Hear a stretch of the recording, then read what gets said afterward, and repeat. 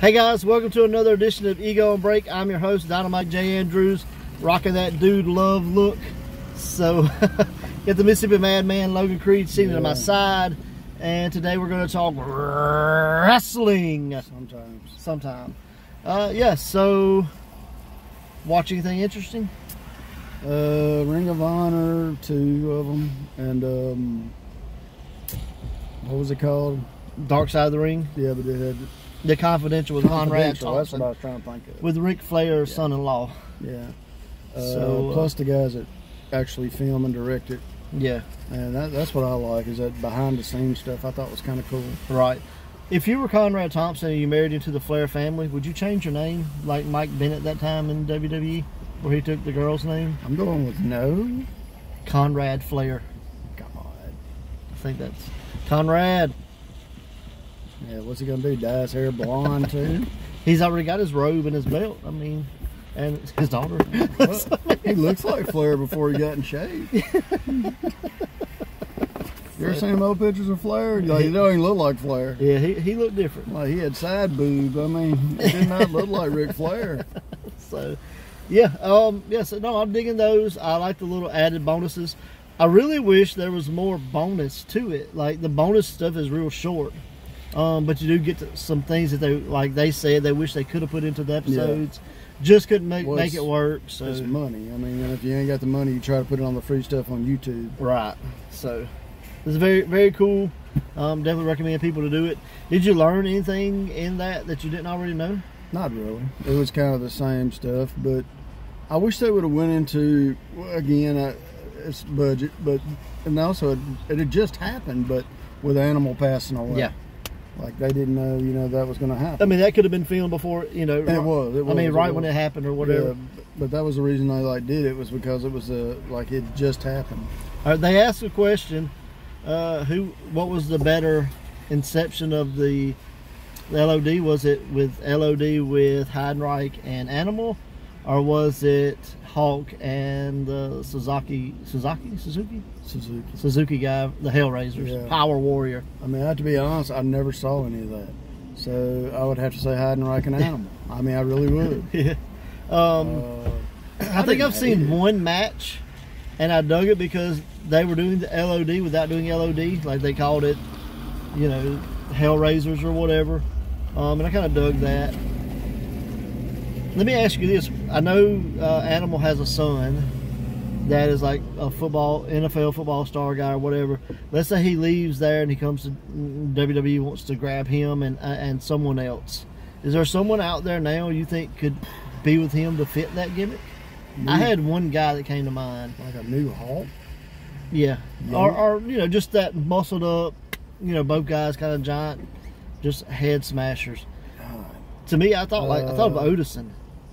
Otis is not bad, but I don't know. If I was going to put two together, I would think look like him because I've seen his son. He's a big guy, but he's he's still as big as his dad. Yeah, right. Like, well, he probably hadn't had as many steroids. oh, I, am just gonna say, if I was trying to make my own version of LOD, or at least that kind of gimmick, I would say uh, Odinson would be a good one, and I would grab a Hammerstone. Oh yeah. I mean, them two muscle That'd be cool. sun guns. Who in the cool. world's gonna take that on? Would it Would it be the two guys that just got unmasked on Raw and they come out looking oh, like? one of them looked like a damn '80s dancer out of a Prince video.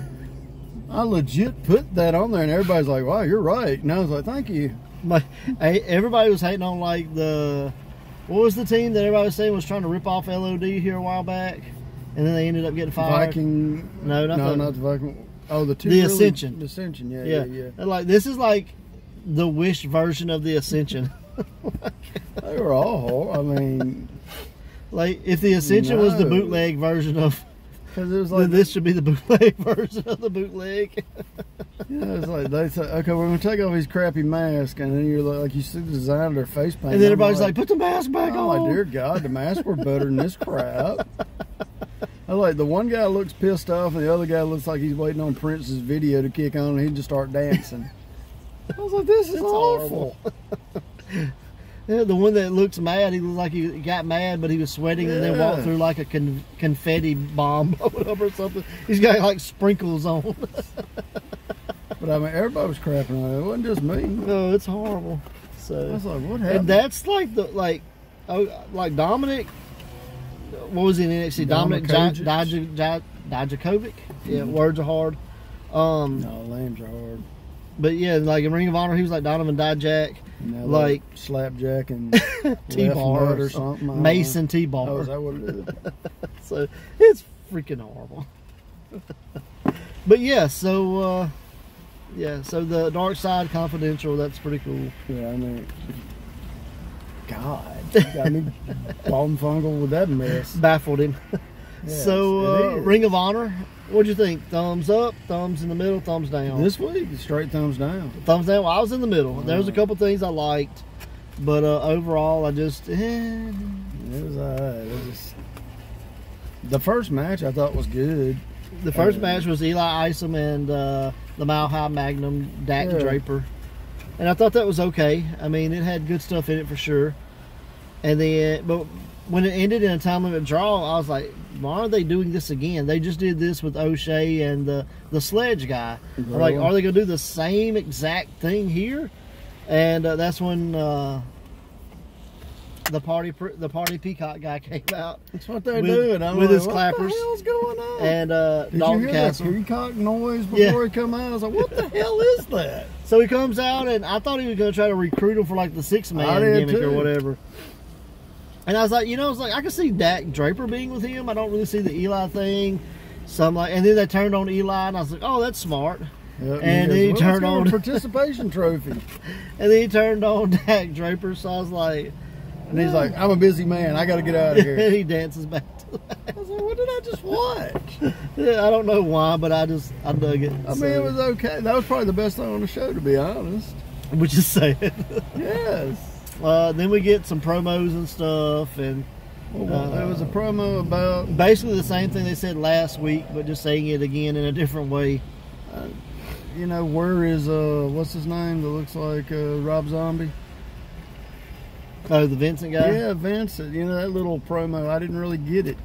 Well, didn't he leave like a loser leaves town match or something? I don't know. I, But we got to see a, a new guy, Dutch. I hadn't Dutch, seen I had him. never seen him. He Uh, looked like uh, uh, again somebody from a Rob Zombie movie. He really does. You know the dude that's like slaps people on Facebook, like like they had the slapping contest and like the guy Oh yeah, out. yeah, yeah. He kind of yeah. looks like that guy. If that guy wore overalls, Ah, okay. um, like just to me, that's who he yeah, I resembled. could, I could see that. Yeah, Um, that guy's like Russian or something. Yeah, well, this guy, uh, Dutch maybe too. Who He knows? might be. He never may be spoke. from from He had old stringy hair down his hair. he looked like uh, oh, what was his name? The redneck guy used to wear overalls in WCW. Dutch Mantell, Not Dutch Mantell, the other one. I can't think of his damn name. I, it'll come to me. Bunkhouse Buck. Bunkhouse Buck, yes. Because it was like he was always going bald, but he had like him nine hairs he had stringing around the front of his face. But he reminded me of that. But We I mean, but bigger. Yeah, we got that. We got some uh, promos from LFI and Violence Unlimited. Um, I'm sorry, I, I like Homicide as a wrestler, but I hate hearing promo. I don't understand what the hell he's saying. blah blah blah blah. I like, well, somebody give this man some subtitles. Y'all did it for Delirious. So, I mean, if y'all can do it for him. what did he say? That's, that's, that's, that's, All I got was he's a ghost. what? That's all I got. I'm a ghost. I'm sitting there, I'm like, what did this dude just say? I watched it twice trying to figure it out. Well, you know, you got to be able to speak Right. homicide. you understand it. But uh, basically, they said the same thing they had said last week, the week before, or And whatever. everybody in that promo was yelling, yeah, except for uh, they're, they're Tattooed mad. Man. They're mad. So I'm like, bruh. yeah. but uh, we get Beer City Bruiser out, and he jobs out a guy in like one move. I, I think it was a full match, but we only saw one. Movie. Oh, is that what it was? Yeah. And then like students came out to stop him from beating up their student stop. friend. Then you hear crash. and then student friend attacks other students and they join one of the guys joined beer city bruiser i'm excited the guy he's got now does like he could beat Cannot somebody up promo though. God, his promo was awful. but i think his name's ken dixon is that right Yeah, yeah. He said like eight words, and he goes, and that's it. and that's it. And she kind of looks at him and is like, okay, I'm like Beer City talk now. Because that little old girl just looked like, uh, I think he's lost. Yeah, so I'm interested to see that. Uh, Beer City, I guess, is going Yeah. full heel now, and uh, yeah, so that was what it was. It wasn't a lot, but it you know it just introduces a new team, Yeah.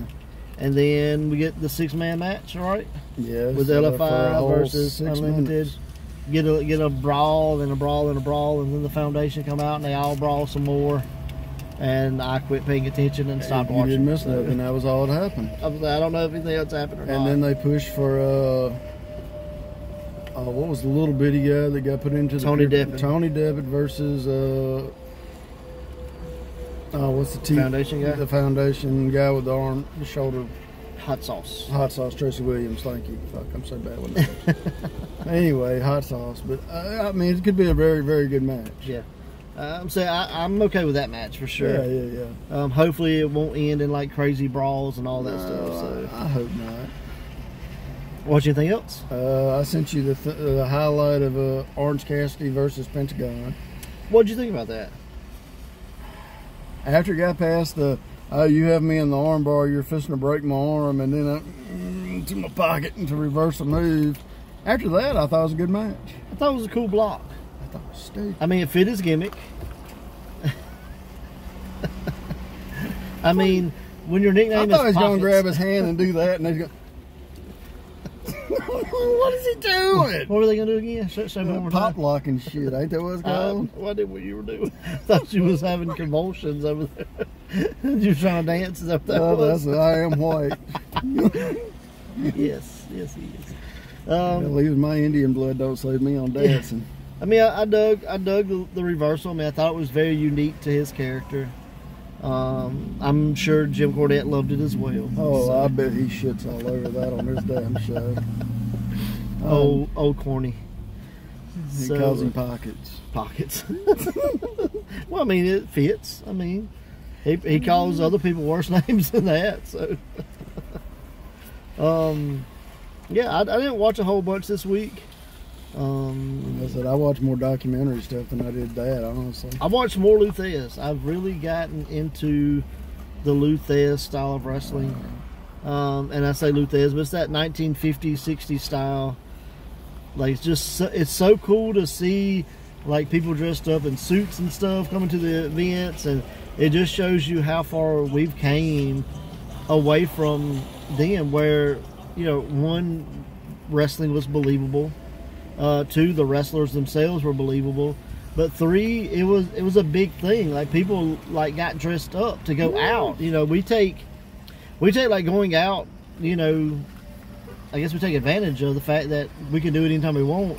Where they had like you know it was an event. You know what I mean? Like just to go out to eat or whatever, they would dress up in their Sunday finest. You know, Yeah.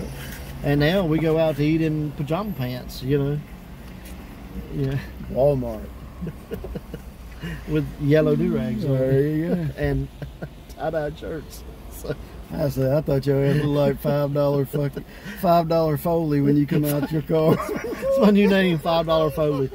Welcome to the Five I Dollar mean, I looked up Show. the dude love music and was playing it as he walked up. so, what I'm gonna title this as Five Dollar Foley. Dude love. But uh, I did watch Dan Danhausen unbox uh, some Ninja Turtles. Oh yeah, Yeah, what did he get? Ninja Turtles. Ninja Turtles. That's why I said Ninja right? Turtles. Surprising. Surprising. Got Ninja Turtles. But like, he's a huge toy collector and he's a comic book collector. He's done his own comic with Warhorse. I bought that as Did you the way, really? yeah. Okay. uh, the War Horse is coming Let's To, see. uh, it autographed. to Battle Zone There you soon. Just bought the Rock and Roll Express comic book as well. So you're gonna get that autograph Yeah. too. And then I bought. Well, tell uh, him about tell tell us about some of the names that are coming to Mississippi since you're in uh, high cahoots with Battle Zone. Yeah. All right, so uh, got the Rock and Roll Express coming in. That's an Ego Battle Zone show. Uh, it's going to be happening in Pearl June 17th, I believe. Mhm. Um, so excited to see that. That's Going to see the. Leading Edge reunite. yeah Monty Warbucks and Calvin Rhodes. And as far as I know, this may be like the first time in several years that they've tagged. Uh, at least five, I'd say. Yeah. So they're going to take on the Rock and Roll Express. So pretty excited about that. Yeah, as of just a friend and a fan is the leading edge. I know for a fact this is a match that Monty Warbucks has Right. always wanted. Right. Like this is his dream match. I know that for a fact. Uh, so that's happening. in actually June. do want to try to go to that show and like have an actual sit down interview with him and Calvin about Yeah, it. and if you And have a just sit kind down of a- interview with them, that'd oh be no, cool that'd be great too. I don't know what it'd cost me. A life in a headlock with them would yeah, be awesome. Would be very cool because that's been a hell of a life. yes, it has. Uh, but got that. Got um, James Storm coming up in May in Raleigh. So that's Uh, pretty cool. I'm, I'm a big fan of the What Cowboys. was the first time you heard of James Storm? Ron Horn was the reason I heard of James Storm first. Like Ron knew him somehow personally. Well, because they worked shows together. Oh, no, I'm just know, saying, like- you know, uh, Ron was always in the back of Battlezone, and he would tell James Storm stories all the time, and I was like, "Who the hell is James Storms?" And then I got to see him on TNA, Right. and I was like, "Oh, okay, this is who he's talking." I mean, I guess about. my first experience with it was just seeing the America's Most Wanted. Oh, okay. So, but it's cool to see him coming in. Um, got Gary J and Warhorse coming back, Yep. so that's Oh, that's boy. pretty fun. Is that an actual match? Uh, not against each other. Oh, damn. Um, Warhorse, I believe, is going to face. I don't know. Maybe JD or maybe Nightmare. Maybe Wes. I don't know. Somebody, yeah. Um, so that's happening. Um, Frightmare of Chikara fame is making his way down. Um, Johnny Swinger, who is on Impact now, uh, ECW guy, Yep. uh, he's going to be here um, coming up. Uh, who am I missing? New Jack. New Jack is coming in, New Jack. uh, so that's going to be pretty scary. I think New Jack would be cool, but as I told you, if I was booking him personally, I'd have brought him in with rock and roll because New Jack has even credited them as the people that taught him how to wrestle, Right. more or less. He's like, I knew what I was doing, but they helped me perfect what Yeah. I was doing. uh, got the women's event coming up in September. So it's going to be a whole women's show. Whole women's Now, is that ba- that's just Battlezone? yes. Okay. Uh, Southern Bell Cups or something similar to that. Southern, yeah, sounds good. Yeah. So uh, pretty excited for that. Um, That's been something we've been trying to do for Yep. years, though, to be honest. it just costs a lot, It but does. you know it's happening. Uh, I believe that's September 18th. I believe. Um, Odinson is coming in, I like those. so I know that's happening. Um, I think I slide him a 20, he'll do it to Pharaoh, the F500. F10, Is that what it is? yeah, I'll call it F500 if he does it on Pro- Pharaoh. probably probably costs at least 40. 40. So, I yeah. do 40. So, uh, yeah, Joey, uh, Joey Abel's got some things lined up that he's working on. So, uh, pretty excited to see that. He is, he is uh, working on doing uh, Ultimate X. Uh, got Petey Williams coming in. That's yeah, pretty cool. That's one you I was trying to think of. too. so, uh, yeah, exciting things coming to Mississippi in the next year. So So, wrestling's actually picking back up. yep. You actually had a show that had how many people did you say? Uh, around 150. 150. Yeah, I mean, give or take. Yeah. Uh, it was a fundraiser. so there was a lot more tickets sold, but just most people just bought it. Come. That's cool. Um, but also there was like a big like youth rally, uh, uh, disciple now or D now or something like that that a bunch of the churches did. oh, okay. So, but you know overall, I mean, I was extremely happy with the turnout. Uh, can you give us the results of the show? Oh, absolutely. Uh, John Davis defended the FIP title against Vordell Walker. Full Impact Pro. What I say? FIP, I'm just saying stands for. Yeah, the heavyweight title. Um, insane uh, match. Vordell Walker hit John Davis with the reverse Hurricanrana, which was was scary, man. which was insane. John, I hope you're walking okay. Uh, at some point, John Davis had Vordell upside down in a trash can, so you know. Um, so that Good was old fun. family violence. That was fun. Uh, con- congrats to JD Jenkins. Uh, he unified the Mississippi title with the Pride title in Ego. And uh, so we now have a Pro Wrestling Ego Mississippi champion. We unified those two belts to become just a Mississippi Heavyweight Championship. Are you going to use both belts or just one? Uh, we're getting a new title Okay. created. Yeah. Um, but we had a little uh, spur of the moment thing. Uh, and sorry, I can't remember your name. I called him X. Uh, he told me how to pronounce it, but I could not pronounce it off the top of my head. Um, We're he walked out with a bag full of money and said, I don't have a title, so nothing to unify, but I do have a sack full of money. Uh, if you guys want to make this a triple threat, every, you know, winner takes all. Uh, the other two guys, Colt Storm being the third guy, Mississippi champion, or former Mississippi champion, uh, him and JD accepted. So we had a triple threat match for the main event. It's pretty awesome. And uh, there was at there was at some point where JD gave the Jenkinator to Colt Storm on top of X. Oh, So uh, Al for somebody for sure. But uh, probably both. but a heel hook submission, JD unleashed, and uh, yeah, got the victory. So that was awesome.